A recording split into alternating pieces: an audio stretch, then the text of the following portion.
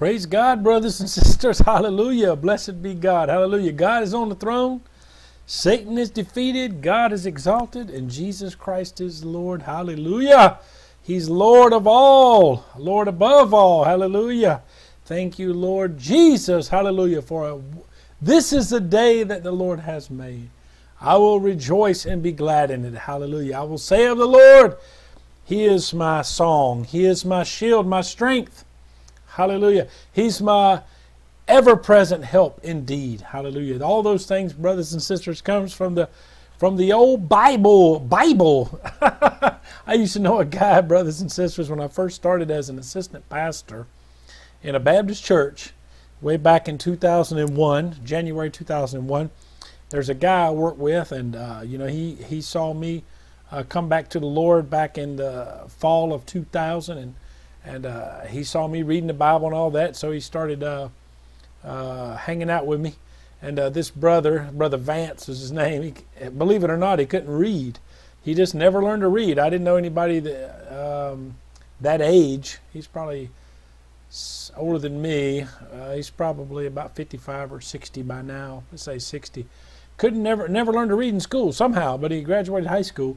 Uh, and so he would ask me, you know, questions about the Bible, talk about it. And he would always say, um, you know, he wouldn't want to have a southern accent, brothers and sisters. So he would say, Bible, revival. You know, that was how he would say, you know, maybe if you're from the South or you've heard people from the South, they'll try to use it and say it that way so they can sound like they're not having an accent. But uh, it's really funny when you hear somebody do that, brothers and sisters. I was just thinking about that just now as I, as I started talking to you because, uh, you know, sometimes I notice it seems like brothers and sisters, we shouldn't judge a book by its cover, like the old Bible here. Um, I bought this cover, and you know I've only had this is only the third Bible I bought since I've been in the ministry. Since um, you know I, I, started, you know, in the ministry really in October 2000, and publicly began to preach and teach in, in January 2001. But this is only the third Bible I had, and I wanted to get a nice one, and I even bought this nice Bible cover. And brothers and sisters, the little zipper thing broke off on it, and I've only had it for about six months, and I've, you know I haven't used it that much. I've only used it to preach, I guess, uh, once or twice, um, and and the thing already broke off the zipper. What can you do? You can't judge a book by its cover, and you know I was also thinking, brothers and sisters, how, you know, people, uh, if people are from say, uh, you know, uh, as an example, oh uh, Johnny Clark, uh, not Johnny Clark. Um, uh, Johnny Carson, what am I saying? Uh, I guess because it's late here at night, brothers and sisters.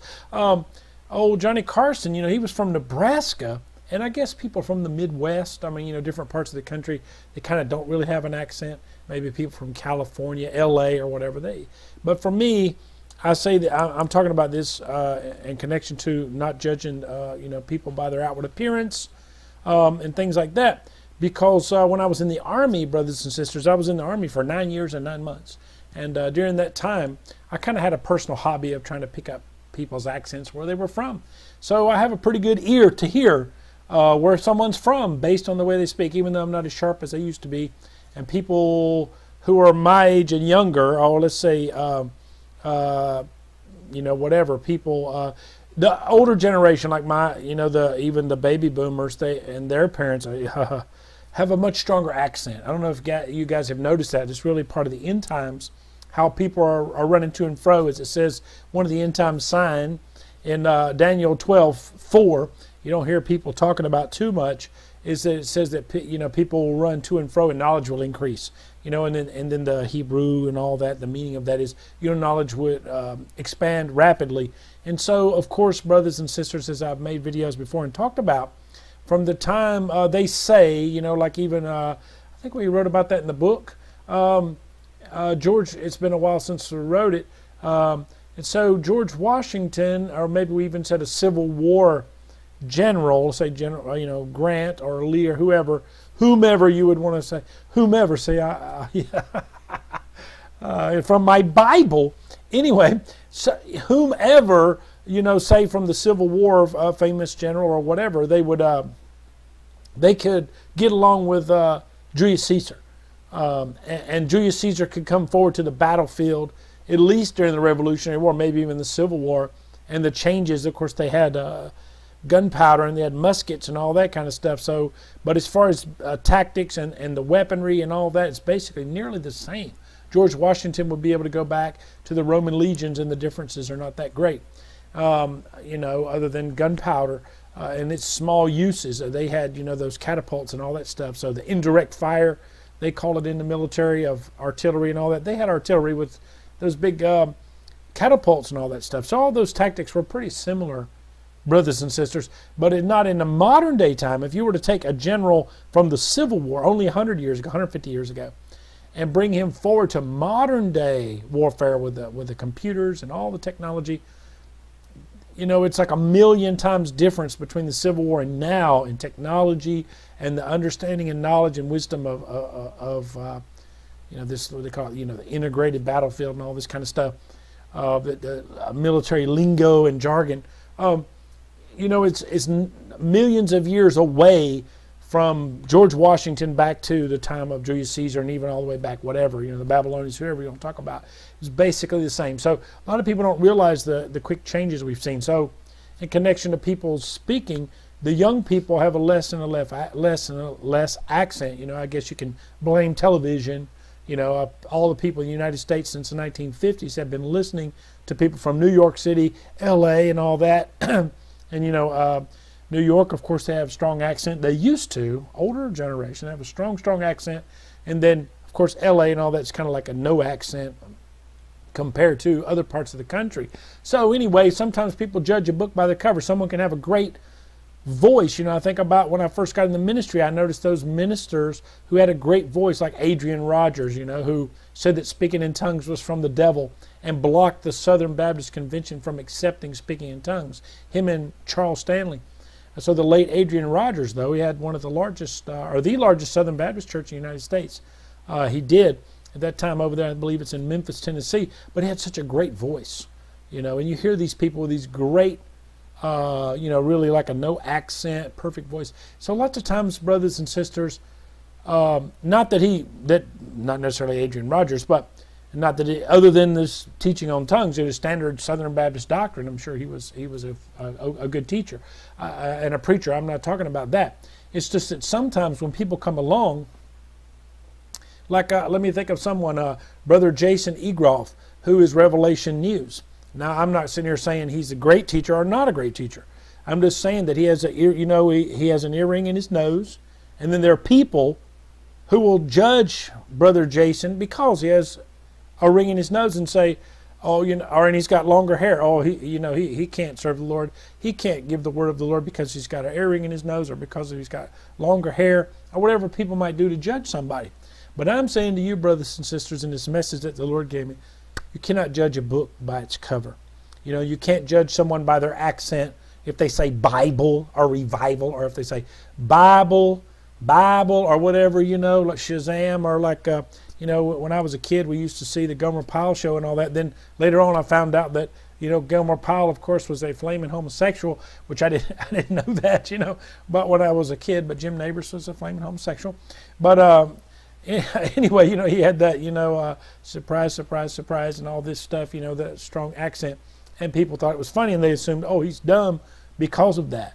You know, so we, you know, and and that's a great example. Thank you, Lord. You know, I was judging him that he was not gay because the way he acted and the way he talked to him, but it's not true. So you can never judge a book by its cover, brothers and sisters. We always have to listen to what people say.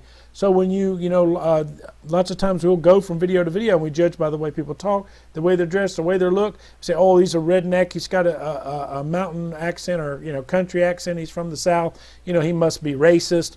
You know, he must uh, uh, hate black people. He, he, you know, he must uh, chew tobacco or whatever. People think he's ignorant. He only went to the, you know, his, you know, his high school. He didn't graduate high school. Uh, you know, and things like that. So people would judge you, you know, in those ways, brothers and sisters. But, you know, God always hides His treasure, brothers and sisters, in earthen vessels. So, and in, in the least expected place. So let me give you the end of this. And like I said, I'm going to try to start cutting up my videos at 10 minutes by the grace of God. Jesus was born in a manger, not in a castle. John the Baptist wore that, you know, that uh, camel's hair and ate honeycomb and wild locusts. He was not in a palace, you know, as Jesus said. And then Jesus himself was born in a manger, brothers and sisters. And you see these big fine Catholic cathedrals. You see these in the Philippines. They got this cult called uh, Iglesia Ni Cristo, and they and they'll go to the most remote, raggedy town, like where we do our feedings, in the most raggedy place. Everyone's living in a, in a, in a you know a shack made out of bamboo, no running water, no electricity, dirt floors.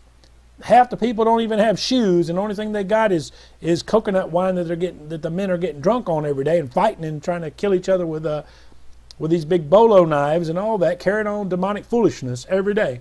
And then right in the middle of this raggedy town, this cult group, group Iglesia Ni Cristo, or the Mormons too, and Jehovah Witnesses, but Jehovah Witnesses buildings aren't that big, but the Mormons have pretty elaborate buildings, and then the most elaborate is this Iglesia Ni Cristo cult. So when when those poor, ignorant, you know, uh, drunk fishermen and coconut tree climbers see that building, they say, "Ooh, it looks like heaven. This must be from God because it's a beautiful building." But in reality, you know, in one of the churches where we do some of the feedings through, this one place called New Argyle. It's one of the places to do feedings, and the pastor is Pastor Joseph, and I preached there before. Um, as a matter of fact, some of the, you know, we had some mighty miracles of God in that place. Um, this guy had wood in his mouth for four or five years. We prayed over him, and it just fell out. Uh, three years. And anyway, I had his testimony, but it's not in English. Um, it's a blessing you know, to, to edify people to, to receive, have faith to receive healing. But I, I haven't had a chance to use any of those things, brothers and sisters, uh, to build up people's faith for healing. But anyway, behind that big cult castle, and that's what it is a cult castle, right in behind there, you have to walk across a, a, a dike.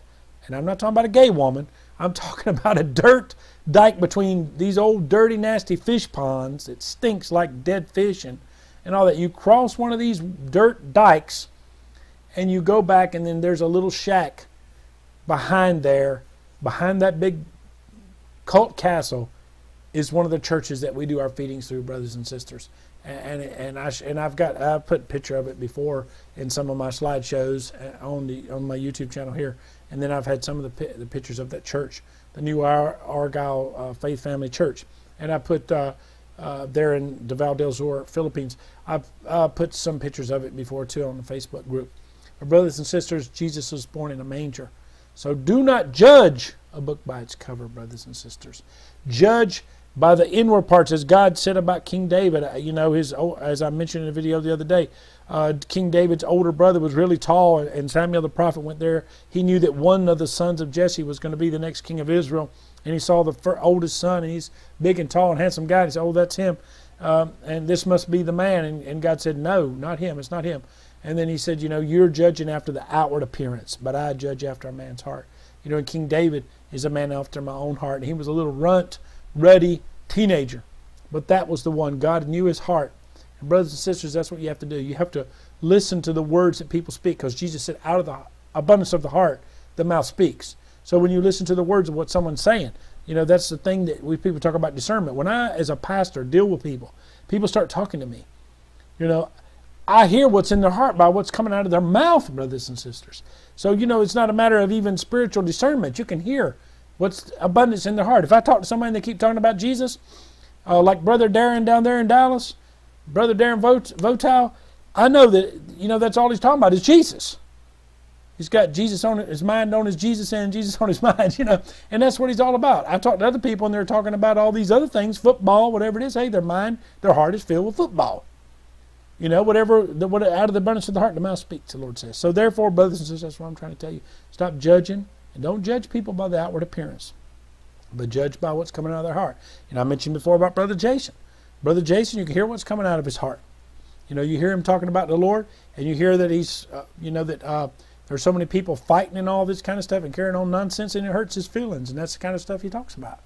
You know what? He's he, he's exposing his heart. Uh, Minister Paul, out there in Northern California, he he speaks from the heart, what's in his heart, and you know, praise God. We have to honor people who are willing to speak from what's in their heart and expose their heart. You know, and no matter even though we, you know, myself and, and the people I mentioned, you know, we deal with uh, people who would, uh, you know, who would you know, once you expose your heart, then there's always somebody that will throw a dart at it from the enemy to try to get you to build up that shield to have a callous heart and and and, and not be open to uh, be honest with people, you know, and, and speak, uh, you know, from the heart.